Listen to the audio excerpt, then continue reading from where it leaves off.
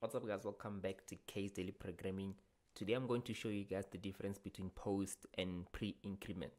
And before we start this video, I just want to let you know guys that this example is going to take place in C Sharp. But bear in mind here that I'm not teaching you guys a programming language. This is not a C Sharp based video. This is the concept based video. So post increment, no matter if you're using C Sharp, Java, C++, or whatever language that supports the concept, the behavior throughout those languages is the same. So this is the concept based video and not a C sharp based video. So without wasting any of your time, let's get straight into this.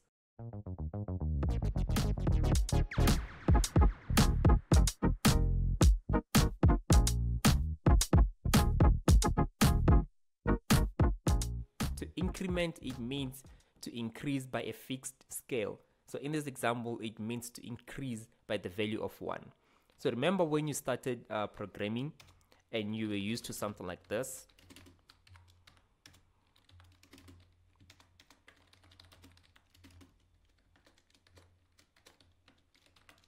And if I just write the output of this code, let's just make this more readable by saying we want the value of b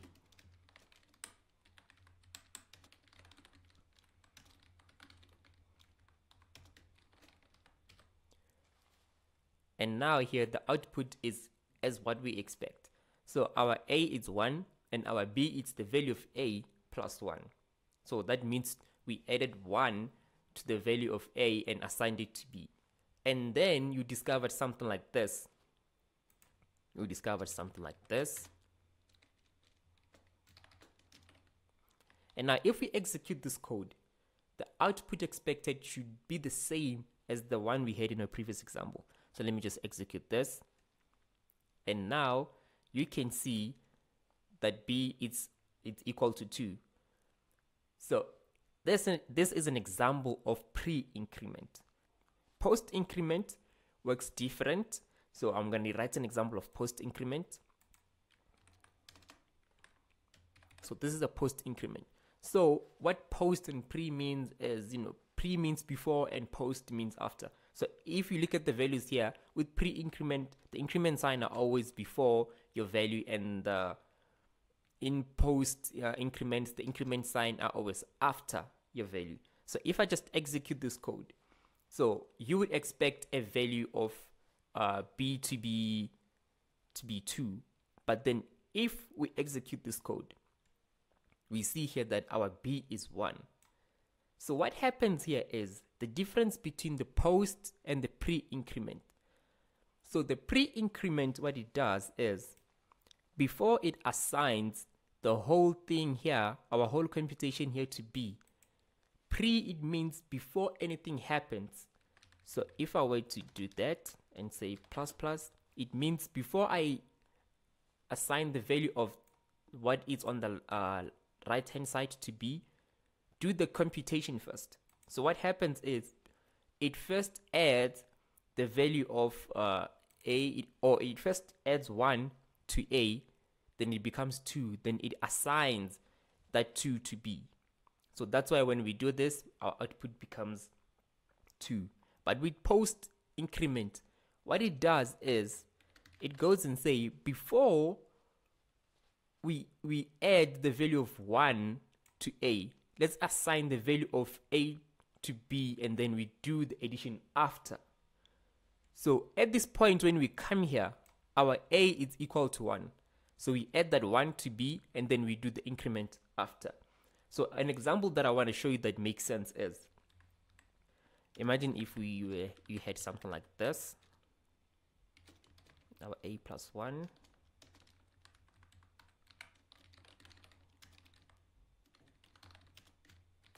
then I want the output of A. So our A is equal to then you have the value of A in there. Now if we execute this we know that our A is 1 then our B is the value of A plus 1 which we expect A to be 1 and B to be 2 so here's the output. It's what we expected. Okay so let's close this.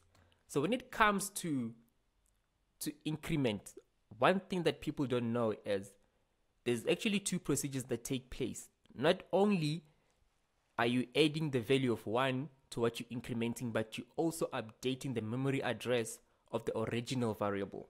So what I mean is, if I were to comment this out, and I just want to output, let's do this first, and I want to output the value of b. So now we can see that b is equal to 2. But at this moment of time, a is no longer equal to 1. a is also equal to 2.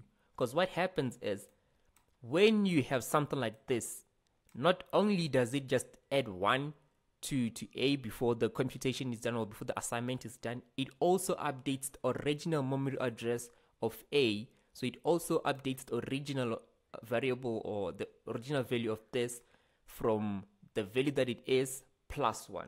So now if I were to do this, our output shouldn't be 1 and 2. Shouldn't be A is equal to 1 and B is equal to 2. Our output should be both variables should be equal to 2. So let's just run this. And this is what happened. Now you can see our A is equal to 2 and then our B is equal to 2. This is because that increment, the pre-increment or the post-increment, it updates the original memory address of the value that you're incrementing to the original value plus 1. So with post increment or pre increment, the difference is just that one action ha happens before and one action happens after. So now this is a pre increment. And now if I were to use a post increment, so no matter if the increment is before or after, the final goal is A will always be updated to the original value plus 1, even though the B is assigned the value before or after. So in this case, our B is assigned the value before the increment it's done and then the increment is done after. So this is the post increment. So if I were to print this out, I should still be getting the value of 2 and B should be getting the value of 1. So let's just print that out. So now you can see here our A is 2 and our B is 1. So what happened here is when we came to this line and we looked at this code, so it said before I can increment the value of a to 1 uh, with, with 1, I want to assign that value of a to b. And the value of a at this moment in time was still 1. So we assigned uh, a to b. And after that assignment was done, we went and incremented or updated the original value of a with the value that it holds plus 1, which, is, which is was 1. And then it it's now uh, 1 plus 1. It, and that's why we're getting the value of of a is equal to 2. So in the background, not only are you adding uh, a plus 1, but you're also updating the memory address with the new value that you incremented by. So the difference here is with pre-increments, when you have something like this, what happens is you first increment the value of a and then you do the assignment of uh, a to b after. But with post increment is you assign the value of A first to B and then you increment the original value of A after the assignment it's done. I hope that makes sense. So to give another example, I'm going to give you guys something like this. And I'll explain it step by step. So just get rid of that. And let's say we have a value. We have an int that it's x and it's equal to 4 and now let's make our x is equal to or let's just make our output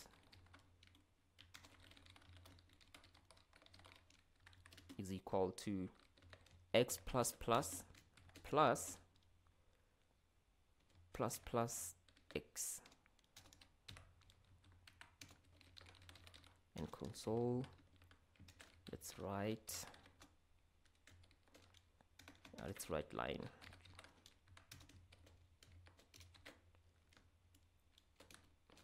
And the output is then we give it the value of the output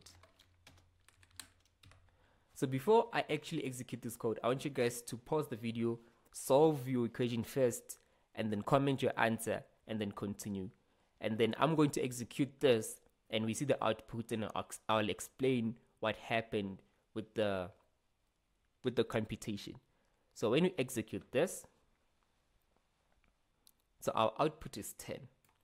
Okay, so what happened here with the whole computation is, let me just open Notepad here to do a better uh, explanation. Let's split the screens like that. Maybe I should just put Visual Studio in the side.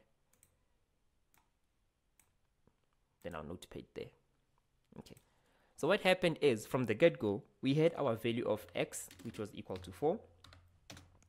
And then when we came to this line here, when we came to this line here, what happened is x was 4, right? So we say, uh, let's say, let's make a new variable and say new answer, which is x, or let's just say new x. So what happened here is, you know that our x is, is equal to 4. So what happened here is, the new x, we came at this line and said our x is 4. Because you see here the increment, it's done after we get the value of x. So the value of x, it's now 4 and then the post increment here went and updated the original value of x which is what we here as we have here as x. So we're going to update that x into 5 and then we say plus which is the sign here. And before we came here before we came to x or before we came and did the whole computation here what happened is x was incremented by 1 before we could work with it when x was incremented by 1, the original value was again updated by 1. At this point in time, our x was 5, and then we cancel the 5 and say it's been updated by 1. So now x is 6. So what happened here is we have plus 6, and that's why we're getting our output as 10, because 6 plus 4 is equal to 10. So the very same example works if you work with the decrement. So decrement is just the opposite of incrementing, so it means to subtract by 1. So I'm just gonna stop this example and execute the very same example, but now we're going to use the decrement symbol. So just say minus minus, and then we minus that, and we minus that. So the same as what you did before. Before I execute this code, I want you guys to pause the video, work your calculation, and then comment your answer below, and then continue with the video. So now I'm going to execute our video, and we're going to look at our output and explain what happened. So now you can see that our output is 2 and that is very different from what we had before and it's a very big margin.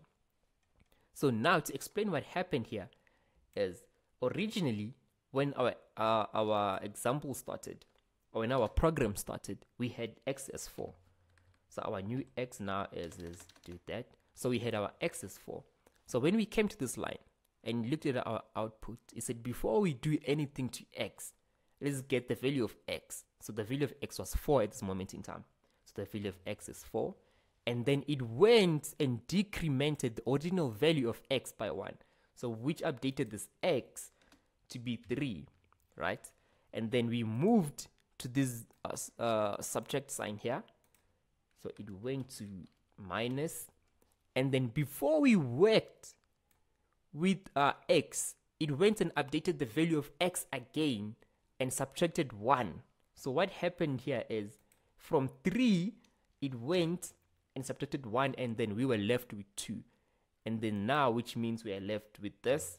So our value of x or our new x now, it becomes 4 minus 2. So this is the output that we got, which is uh, this output here, which is 2. The concept can be very confusing, especially if you are new to programming or especially if you are new to this concept in particular. So I hope that made any sense. So if there's something that you want me to explain better, just mention that in the description box below and I'll try and explain that concept to you or I'll try and accept that part that you do not understand. So that was it for today's video. I'll catch you guys in the next video when I'm explaining something different. So if you have watched this far, don't forget to subscribe and hit the like button and I'll see you guys in the next video. Cheers.